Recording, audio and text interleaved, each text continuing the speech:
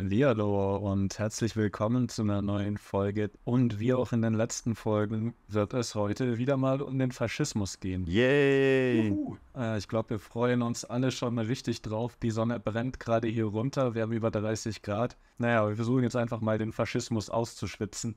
Ich glaube, ein richtiges Ende werden wir auch in der Folge noch nicht finden. Wir werden noch ein paar Exkurse machen und uns in dieser Folge noch ein paar internationale faschistische Bewegungen anschauen. Oft stehen ja der Nationalsozialismus und der italienische Faschismus so ein bisschen isoliert da und werden als die faschistischen Parteien bezeichnet. Dabei gab es noch eine ganze Menge anderer faschistischer Bewegungen, die teilweise auch an die Macht gekommen sind, die teilweise versucht haben, durch Straßenkämpfe, durch politische Propaganda und ähm, Militarismus, ja, die Hegemonie der Kommunisten, die gefühlte und der Freimaurer und Juden ähm, gewaltsam zu unterbinden.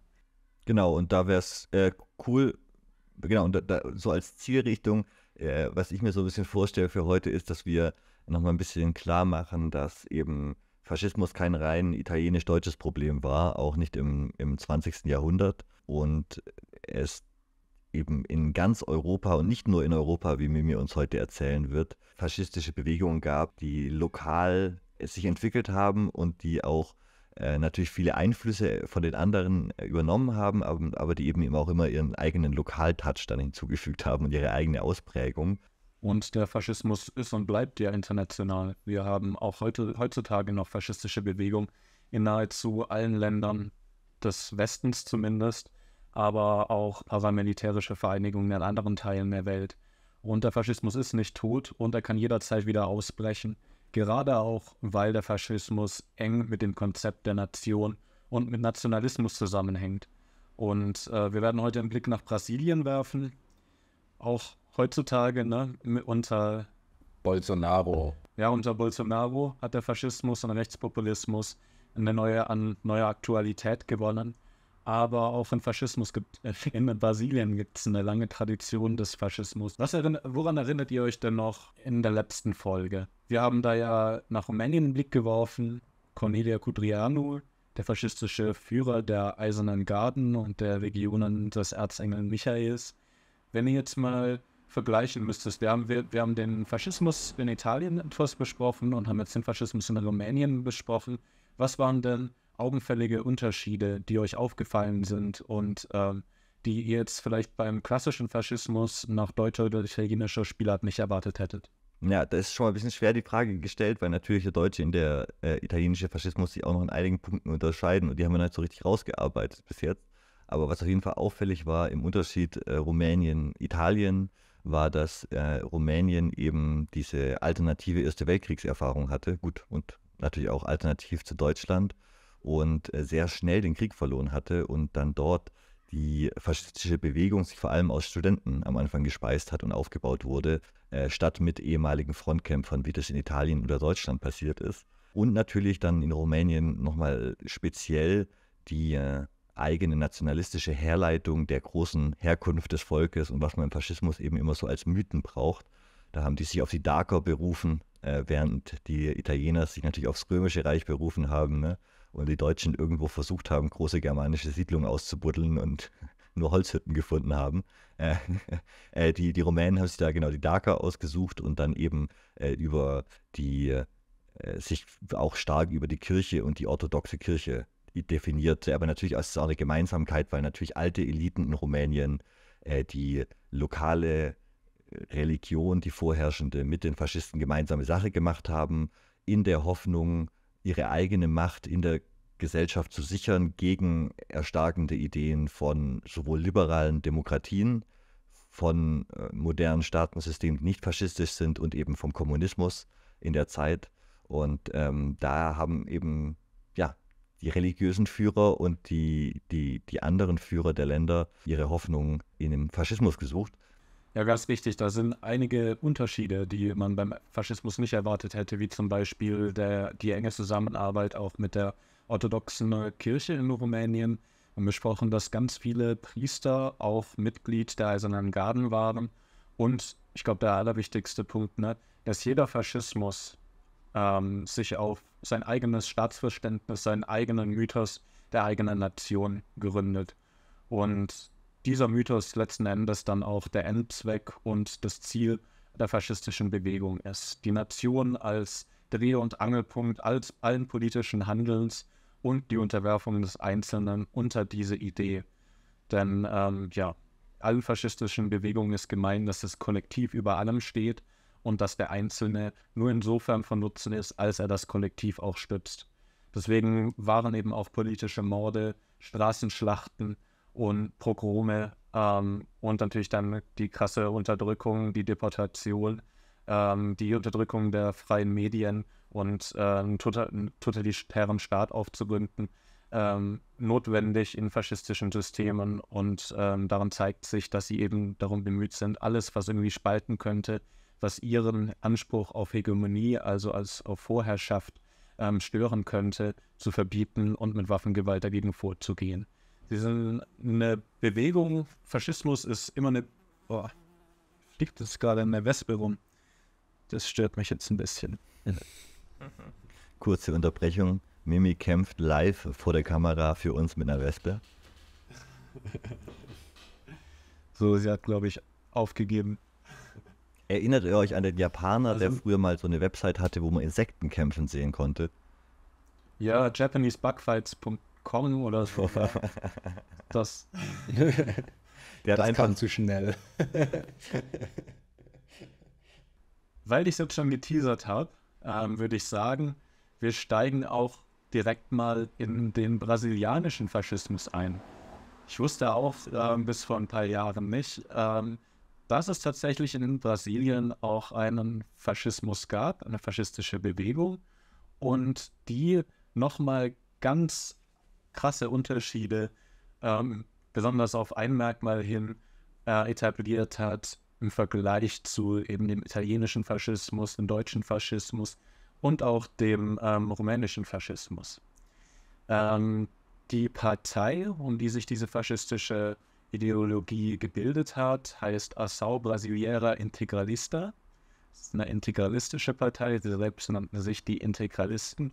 Der Integralismus ist eng mit dem Gründer der Bewegung und auch dem faschistischen Führer Plínio Salgado verbunden, ähm, einem brasilianischen Politiker, Schriftsteller, Journalisten und Theologen, der 1934 die brasilianische integralistische Aktion gegründet hat und zu deren ständigen Chef wurde.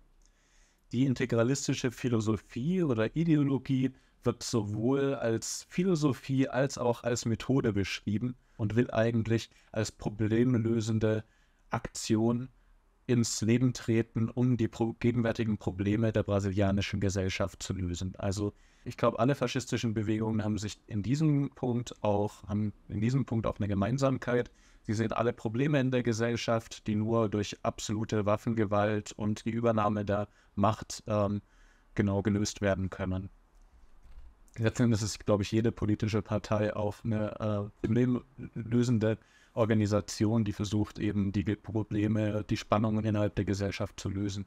Und genauso war es eben auch mit der integralistischen Partei. Bevor wir jetzt weiter einsteigen und so viel über die Integralisten reden, grätsch ich dir kurz mal den Vortrag, äh, weil also der, der Integralismus wurde von Charles Maurras, über den wir jetzt immer wieder geredet haben, den ich immer wieder aufbringe, wenn wir über diesen Faschismus reden, von diesem konservativen französischen Politiker des 19. und äh, 20. Jahrhunderts äh, geprägt und aufgebaut und ist also ursprünglich eine äh, französische Idee, also nicht in, in, in Brasilien gewachsen. Ne?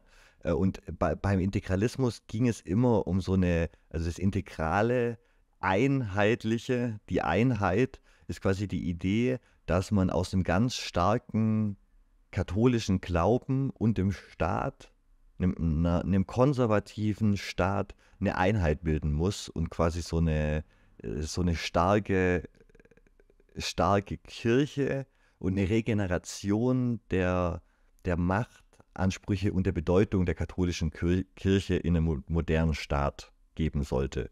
Also so eine, es ist ein religiöser Fundamentalismus. Es, es geht darum, quasi einen Gottesstaat zu errichten.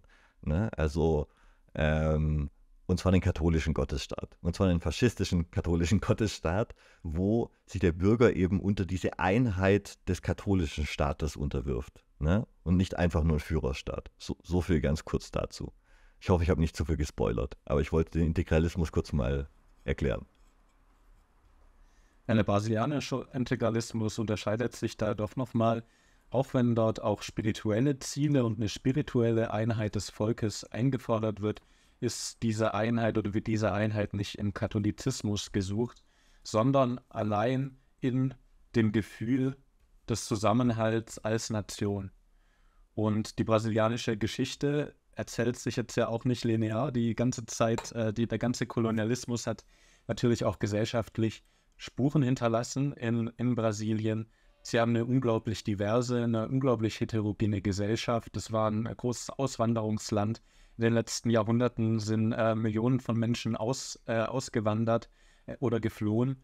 Und deswegen hat der brasilianische Integralismus, ähm, der übrigens sein Wappen als Wappen das Summenzeichen verwendet hat, also auch um zu verdeutlichen, dass man als Integral, als Summe der einzelnen Teile ein gemeinsames Projekt anstrebt.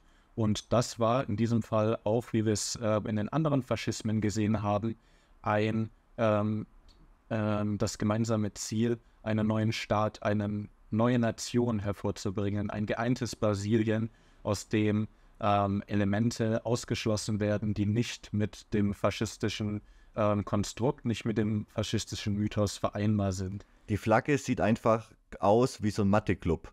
Das sieht aus wie die selbstgegebene, von, von so, von, die, die, Mathematiker vom Gymnasium hinter irgendwas haben sich diese Flagge selbst bei Paint erstellt. Das ist einfach so eine, so eine blaue Flagge mit einem weißen Kreis drauf und in dem weißen Kreis ein schwarzes Integralzeichen. Es ist die nerdigste faschistische Flagge aller Zeiten auf jeden Fall. Welcher Mathelehrer hat sich die überlegt? Ich glaube, ich glaub, Salgado war kein, kein Mathelehrer, aber eben äh, Journalist und äh, Politiker. Ich habe auch mal ein Zitat mitgebracht, äh, was denn seine Ziele für die Nation nach seiner Vorstellung war. Ich lese das mal kurz vor. Wir setzen uns für nationale Einheit ein. Wir befürworten den Ausdruck aller produktiven Kräfte innerhalb des Staates. Wir unterstützen die Implementierung von Autorität, vorausgesetzt sie repräsentiert die echten und direkten Kräfte der materiellen, intellektuellen und moralischen Produktionsagenten. Wir beführen die Berücksichtigung historischer Traditionen, geografischer, klimatischer und wirtschaftlicher Umstände, die unser Land einzigartig machen. Wir fordern ein Programm zur, Koordinat zur Koordination aller produktiven Klassen. Wir vertreten das Ideal der menschlichen Gerechtigkeit und streben die maximale Nutzung der Produktionsmittel an zum Wohl aller unter Beachtung Prinzip, des Prinzips des Eigentums. Wir lehnen, wir lehnen jene, jede Tyrannei ab, die vom Staat gegenüber dem Individuum und seinen moralischen Äußerungen ausgeübt wird. Wir lehnen auch die Tyrannei von Individuen gegenüber den Handlungen des Staates und den übergeordneten Interessen der Nation ab. Wir widersprechen Doktrinen, die darauf abzielen, Privilegien basierend auf Rasse, Klasse, Individuen, Finanzgruppen oder parteiischen Einheiten zu schaffen und so wirtschaftliche oder politische Oligarchien zu perpetuieren. Wir bekräftigen das brasilianische politische Denken, das auf den Realitäten des Landes, den Umständen der zeitgenössischen Welt, den höheren Zielen der, der Menschheit und der Nutzung wissenschaftlicher und technischer Errungenschaften unseres Jahrhunderts beruht. Klingt schon mal anders als äh, Codriano in seinem unglaublich ausgeprägten Antisemitismus. Der ist in Brasilien relativ spät ähm, aufgetreten, aber hier haben wir genau dieses Element, das jedem Faschismus innewohnt und das er hier auf den Punkt gebracht hat. Wir befürworten die Berücksichtigung historischer Traditionen, geografischer, klimatischer und wirtschaftlicher Umstände, die unser Land einzigartig machen jeder Faschismus passt sich eben immer den lokalen Gegebenheiten, den kulturellen und sozialen Kontexten an, greift auf seine eigenen Mythen zurück und deswegen unterscheidet sich jede faschistische Ideologie auf jeden Fall, weil die Nation, wie sie verstanden wird, wie sie gefordert wird, wie wofür gekämpft wird, einfach unterschiedlich verstanden wird. Das könnte man jetzt natürlich aber auch auf äh, alle anderen, also im Endeffekt ist ja jeder Sozialismus auch ein bisschen anders in jedem Land, auch wenn natürlich da viel öfter so ein, so ein weltumspannender Universalismus ähm, zu der, also ne, Anfang des 20. Jahrhunderts gefordert wurde. Aber das war ja auch immer eine Debatte in der Linken zum Beispiel oder in anderen, die, die Konservativen aller Länder, auch wenn die sich in ganz vielen Sachen übereinstimmen, sind es eben dann äh, der deutsche Konservative und der, ich weiß nicht, indische Konservative äh, teilen ganz viele Ansichten, aber haben eben dann beide doch ähm, ihre eigene Nation und ihre eigenen Mythen, die sie sich da aufgebaut haben, über diese Nation irgendwie am Herzen. Ähm, also ich würde jetzt ganz, ganz plump argumentieren, dass es bei Demokratien, liberalen Demokratien ja genauso ist, dass jede liberale Demokratie ähm, eben ihre eigenen Ausprägungen hat und in Island ist die anders wie in, ja, in Italien. Ja, da, da hast du auf jeden Fall recht. Das ist äh, wahrscheinlich nichts, was nur dem Faschismus ähm, innewohnt. Das liegt an den Nationen. Sorry, ich habe es gerade selber dechiffriert. Das liegt halt daran, dass wir ja alle in Nationalstaaten leben. Hört uns unsere Folge Warum Nationen an. Ähm, weil natürlich egal ob die jetzt links oder rechts, äh, faschistisch oder ähm, linksliberal sind, die, die, die einzelnen Staat, äh, Staaten arbeiten ja im Endeffekt allen mit den gleichen Mitteln des, der Mythenbildung und des nationalen Einheitsgedankens. Ja. Und was natürlich hier jetzt als äh, extrem oder was als äh, krasser Unterschied heraussticht, ist, dass Tyrannei auch gegen Individuen abgelehnt wird und vor allem Tyrannei aufgrund von Rasse und Klasse. Das zählt eben zu den Besonderheiten der brasilianischen Nation, wie sie sich in den letzten Jahrhunderten herausgebildet hat, durch die äh, Migrationen, durch die, also durch den, äh, durch den Kolonialismus etc., dass die Gesellschaft in Brasilien unglaublich heterogen ist und auch zum Zeitpunkt Salgado schon unglaublich heterogen war und dass diese Nation bewusst als antirassistischer, faschistischer Staat geschaffen werden sollte, in dem Unterschiede aufgrund der Hautfarbe oder Herkunft ähm, getilgt werden sollten. Es ging einfach darum, die Nation zu einen unter der Idee der Nation und alle unerheblichen Unterschiede, wie eben auch äh, die Rasse, zu vernachlässigen. Also so eine Art inklusiver, inklusiver Faschismus. Ja. Und es gab auch, es gab auch ganz viele FaschistInnen in, äh, in Brasilien, die sich auch in extra Kampfbünden oder Organisationen zusammengeschlossen haben. Und ähm, ja, also es war wirklich ein inklusiv faschistischer Staat, der sich da in Brasilien herausgebildet hat. Genau, also wir haben hier so ein äh, wirklich inklusives, äh, inklusiven Faschismus vor uns, wie er sich in Brasilien herausgebildet hat. Und ähm, was, äh, aber irgendwie haben sie sich doch sicherlich abgegrenzt. Also so wie ich meine faschistischen Bewegungen kenne, ähm, haben die sich doch trotzdem Straßenkämpfe bestimmt geliefert mit jemandem. Ja, ihr Feindbild waren eben auch die Bolschewiki, die Sozialisten, Kommunisten, Gewerkschaften, ähm, weil sie ja die Klassenkämpfe auch als spaltendes Element gesehen haben und ähm, deswegen ähm, ja gegen internationale, äh, also gegen die Interna den internationalen Kommunismus auch im eigenen Land angekämpft haben. Und der Antisemitismus war bedingt vorhanden. Ähm, Salgado hat sich meines Wissens auch nicht ganz dazu durchringen können oder wurde aufgehalten, den Antisemitismus auch in dem Integralismus mit zu verankern. Aber was zum Beispiel eben Rassismus angeht, wenn man das vergleicht mit den Rassegesetzen in Deutschland, das ist schon ein anderer Faschismus und eine andere Definition von Nation, ein anderer Mythos, der da geschaffen wird, nämlich hier eben ein Mythos vom Zusammenhalt, Zusammenstehen, trotz ähm, scheinbarer Differenzen. Also Plinio Salgado sah ähm, definierte den Nationalismus in Brasilien als ein tiefes Verständnis der sozialen und kosmischen Umgebung. Er sieht den Nationalismus als umfassende Sicht auf das Land und gleichzeitig als individuelles Bewusstsein für die Charaktereigenschaften, Neigungen und Denkweisen von Einzelpersonen sowie Bevölkerungsgruppen, die unter einer bestimmten wirtschaftlichen, geografischen und moralischen, moralischen Struktur vereint sind. Für ihn bedeutet der Nationalismus vor allem dann auch die Bewahrung der Integrität des Vaterlandes. Wogegen er sich auch noch gewendet hat, ist der Kosmopolitismus. In einem Gründungsdokument der brasilianischen integralistischen Aktion, dem sogenannten Oktobermanifest, wird betont, dass der Einfluss von außen, der sogenannte Kosmopolitismus, eine Bedrohung für den Nationalismus darstelle. Dabei wird betont, dass der Fokus auf den nationalen Werten und Bedürfnissen liegen sollte, anstatt sich von fremden Einflüssen leiten zu lassen. Ja. ja man sucht den Feind auch nicht nur innerhalb, sondern auch außerhalb. Gerade, also ich meine, das war jetzt in äh, gerade was die antisemitischen Verschwörungstheorien angeht oder auch den internationalen Kommunismus oder ähm, Sozialismus. Das waren ja auch Einflüsse von außen, die etwas Ursprüngliches auch in den europäischen Staaten, in denen sich der Faschismus durchgesetzt hat, ähm, anscheinend nach den faschistischen Bewegungen verunreinigt hat. Ne? Das, was von außen gekommen ist, ähm, wie so ein, es wird ja oft in der Metapher von Unkraut betrachtet, ne? alles, was, was in dem wunderschönen Garten der Nation nicht gedeihen kann und nicht gedeihen soll, muss vernichtet werden. Und in diesem Fall war eben ja sowas, was man jetzt vielleicht westlichen Einfluss oder so ne-, nennen würde oder einfach Neokolonialismus oder Kolonialismus, ähm, der das, dieses Unberührte, dieses Ursprüngliche, das Echte, das eben die Nation widerspiegelt, verunreinigen würde. Waren die jemals an der Macht? Weil später gab es ja dann eine Mil Militärdiktatur, ne? aber haben sich die auf, auf die Bewegung berufen, auf die Integralisten? Weißt du das?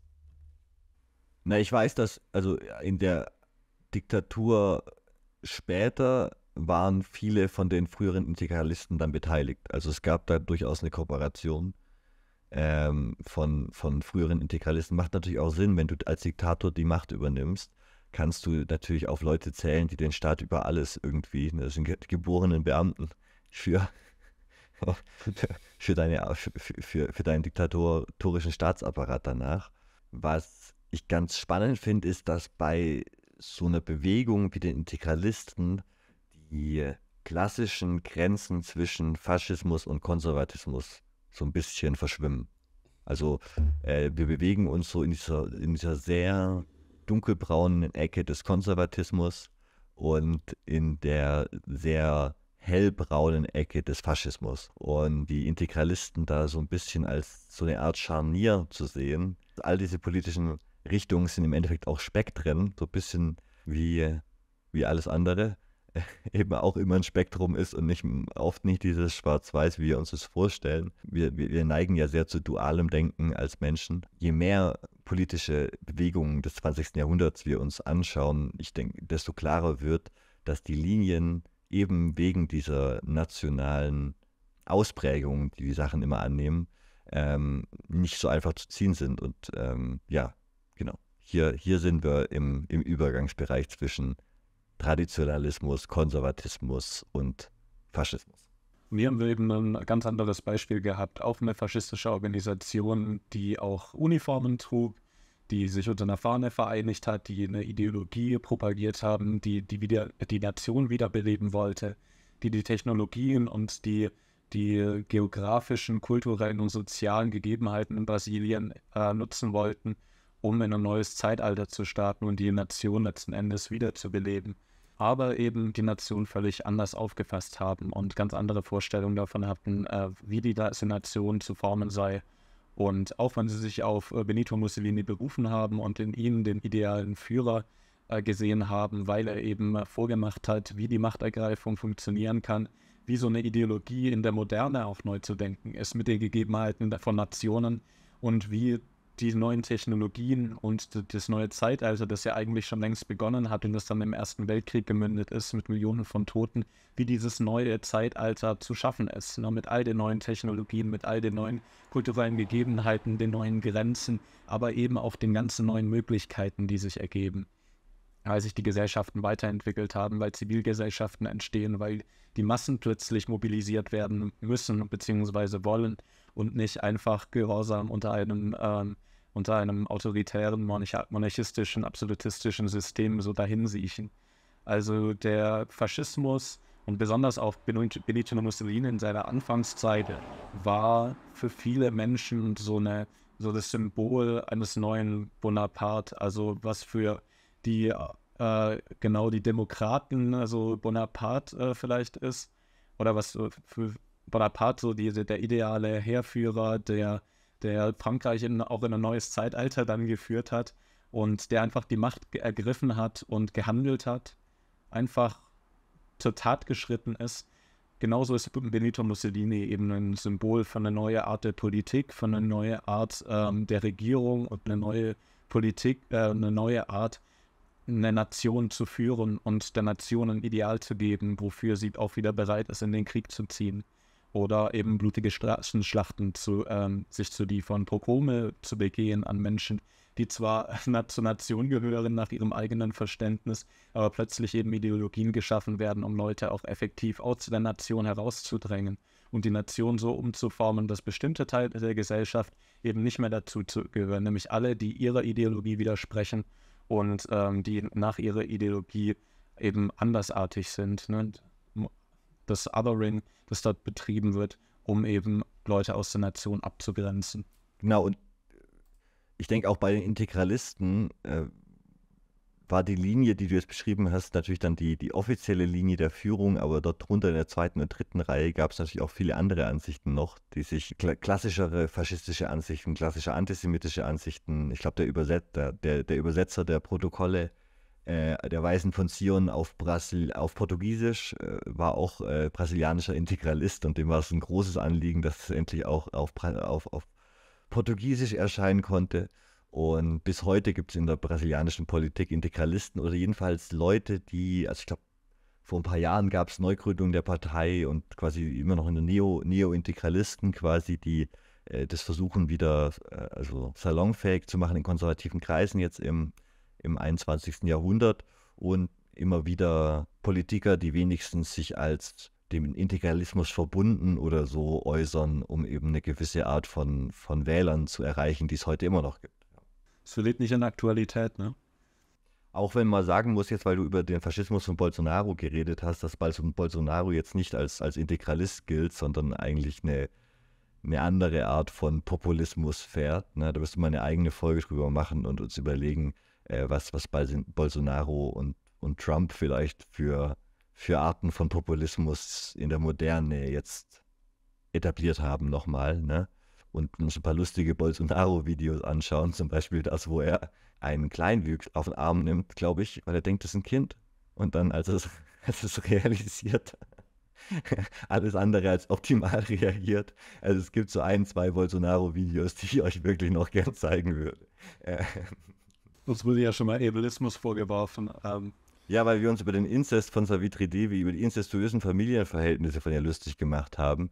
Ähm, wir haben, wobei, wir haben uns gar nicht wirklich so richtig drüber lustig gemacht und ich habe dann eher einen Exkurs darüber geführt, warum die katholische Kirche dafür verantwortlich ist, dass wir in, nur in Europa aufgehört haben, Cous Cousinen zweiten Grades zu heiraten.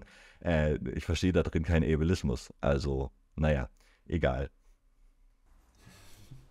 Aber uns wurde auch heute vorgeworfen, dass wir Teil einer Verschwörung sind.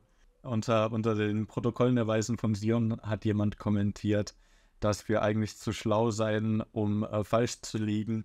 Oder ähm, hat dann die Vermutung in, in, den Raum gestellt, dass wir das ja auch gezielt machen könnten.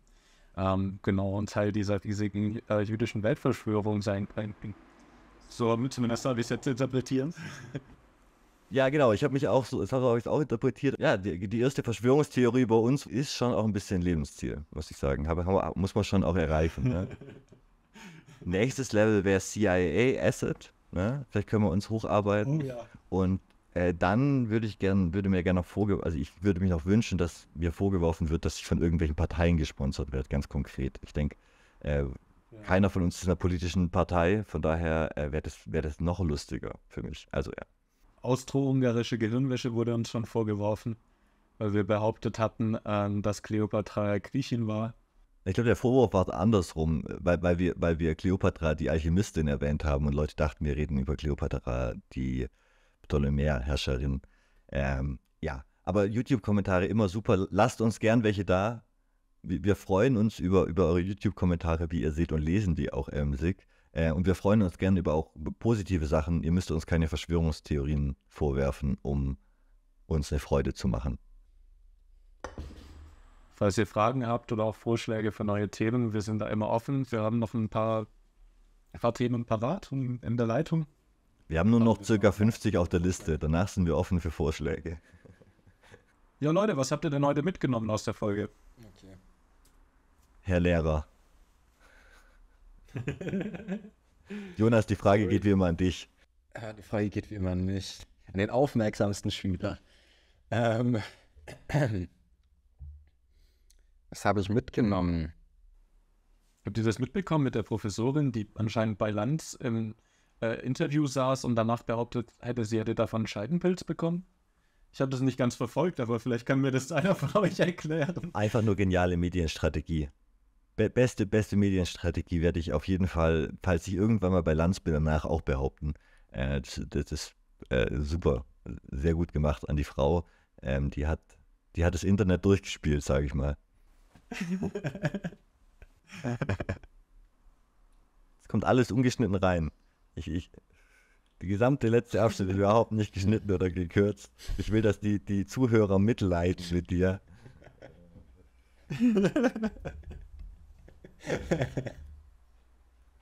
Das ist eine spannende Zeit, spannende Taktik, die Sendezeit zu füllen. Ich finde, das sollten wir öfter machen. Einfach so lange, lange stille Pausen ein. Wir können auch einmal eine Folge hochladen, wo wir aus allen bisherigen Folgen die Pausen und die Äs rausschneiden und einfach eine Stunde lang nur Pausen und Äs zusammen haben. Ähm, nur die Takeouts.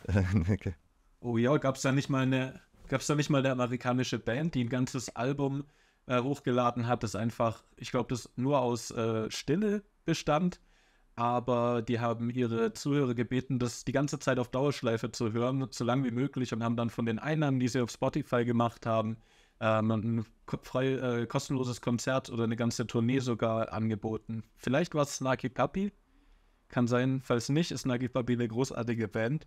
Ähm, aber sowas ähnliches könnten wir ja auch machen. Na, die Idee ist tatsächlich von Heinrich Böll geklaut von der Band. Also werfe ich ihn jetzt einfach, einfach mal vor. der hat eine Kurzgeschichte geschrieben, Dr. Murkes Gesammeltes Schweigen. Habt ihr die mal gelesen? Nee. Gibt es auch als Film anscheinend, aber ich habe nur die Geschichte gelesen. Da geht es um intellektuelle Kontinuität zwischen NS-Ideologie und Kultur in der Nachkriegszeit der Bundesrepublik. Absolut lesenswert und zum Thema passend. Und über jemanden, der beim Rundfunk in den 50er Jahren arbeitet und ähm, dort immer bei den Interviews, die er aufzeichnet, die, das Schweigen, die rausgeschnittenen Teile heimlich sammelt und mit nach Hause nimmt. Und immer wenn er dann zu Hause ist und entspannt, seinen Tape-Recorder rausholt und die zusammengeschnittene Stille aus den Interviews sich anhört, weil er so gefoltert ist von dem Nonsens, den die Leute ihm die ganze Zeit auf der Arbeit erzählen. Er ist ein hochgebildeter Doktor, was weiß ich, er hat sein Studium mit Bravour hingelegt und landet dann beim Rundfunk und muss die ganze Zeit so alten Nazi-Historikern quasi ihre, ihre Entschuldigungen aufnehmen und schneiden und so und ist da halt komplett demoralisiert wow. dran. Und es ist eine sehr, sehr schöne Nachkriegsgeschichte, ähm, wie er Paternoster fährt und oben wartet, bis es oben setzt, weil das das Einzige an seinem Tag ist, was er aufregend findet morgens und so. Äh, coole Geschichte, ähm, kann, kann, man sich, kann man sich mal an einem schönen Sommertag reinziehen. Ja, ein paar Literaturtipps könnten wir generell auch mal wieder einstreuen. Auch nicht nur wissenschaftliche Lektüre, sondern auch mal sowas. Ja. Ich glaube, da haben wir auch äh, ein paar Sachen in petto. Aber wir können auch ein bisschen über Literatur reden, bitte. Jonas, Jonas kann in sein in, in die Out äh, Marcel Reich-Ranitzkis äh, schlüpfen. Den Preis nicht annehmen. Äh, Jonas, wenn wir hier Marcel Reich-Ranitzky statt dir hätten oder dich, wie du Marcel Reich-Ranitzky channelst, hätten wir auf jeden Fall schon äh, 10.000 Abos auf YouTube. Nimm dir mal ein Beispiel an, an Reich-Ranitzky. ich glaube, der ist äh, wahrscheinlich zu imitieren, aber. Äh, Wir können auch ein bisschen kleiner anfangen. Ne? Kommt man nicht ran, vermutlich. Kannst du auch der Richard David Precht ähm, oder Podcast sein. ja, vielleicht auch nicht zu tief stapeln. Ähm. dich über die Hafermilch trinken, werden äh, nach Work-Life-Balance suchen, den verlorenen Jugendlichen der heutigen Generation XYZ, was auch immer, ähm, über die hatet. Du schlägst auch immer unter die Gürtellinie, Mimi. Das war, war, war ein Tiefschlag. Ja. also wir befassen uns auch heute mit den größten, ähm, ja. Größten Denkern unserer Zeit. Den größten Denkern unserer Zeit, wolltest du sagen, Mimi. Völlig verheizt, völlig verbraucht. Völlig verheizt äh, beschreibt uns drei auch ganz gut heute, glaube ich. Von daher äh, vielen Dank fürs Zuhören. Wir sind ganz schön abgekommen am Ende vom Thema, aber äh, abonniert uns gerne, folgt uns, gibt uns eine gute Bewertung, wo immer ihr uns hört. Äh, das hilft uns sehr. Und wenn ihr uns unterstützen wollt, wir haben Patreon, auf dem es irgendwann mal auch Bonus-Episoden gibt. Irgendwann mal. Vielleicht das äh, Höcke oder Hitler, vielleicht machen wir das als Bonus. Ich weiß nicht, wie sehnsüchtig die ZuhörerInnen auf, äh, darauf warten. Ich habe es ja mal geteasert am Anfang von der Faschismus-Folge. Ne, nie, also keiner wartet so, so ähm, sehnsüchtig auf das Ende der Faschismusreihe wie Jonas. Von daher glaube ich. Ähm ich stelle stell mir zumindest vor, dass unsere ganzen Zuhörerinnen nur darauf warten, dass wir damit auch endlich mit dem Faschismus abschließen und so seicht enden können mit, ähm, naja, dem Spiel, ne? Ja, und dann nur noch über schöne Themen reden. Danach nur noch über schöne Dinge. Oh, da müssen wir uns echt mal überlegen. Ja, wenn ihr auch Vorschläge über schöne Themen habt, um vielleicht irgendwelche, oh, wie was mit FreiheitskämpferInnen. Ähm, da sage ich nur, das eine Freiheitskämpfer ist das andere Terroristen. ist immer eine Frage der Perspektive, ne? Ja. Naja, vielleicht, vielleicht könnt ihr uns ja auch äh, noch was empfehlen, was mal ein bisschen leichter wäre und interessant einzusteigen. Ja, vielleicht wollt ihr das aber auch gar nicht und ähm, wollt uns weiter quälen und uns mit äh, brauner Esoterik und Faschos und allem möglichen Schmarren und Abschaum beschäftigen wollt, dann, ähm, dann ist es so, dann könnt ihr das aufschreiben. Aber ja, wie immer, danke fürs Zuhören euch und wir sehen uns das nächste Mal. Bis zum nächsten Mal. Wir haben es nicht eilig, wir haben alle Zeit der Welt. Cheesy. oh. Entschuldigung. Es hat nur 35 Folgen gebraucht.